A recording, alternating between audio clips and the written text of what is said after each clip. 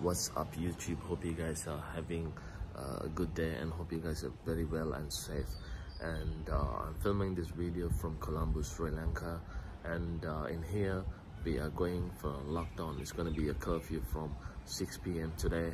It's it's friday today so it's three o'clock now. So in about two to three hours it's going to be a lockdown. It's going to be curfew till 6 a.m uh, till monday.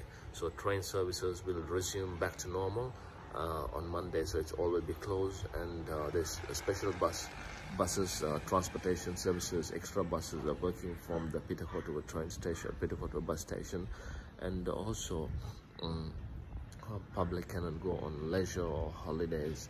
The situation is a bit of kind of a tense situation because uh, of this deadly virus, and uh, I'll take a ride outside uh, the Colombo uh, the city and I'll show you guys how the situation in the city looks like before the lockdown starts at 6 o'clock uh, in the evening and uh, hope uh, we can fight this deadly virus together.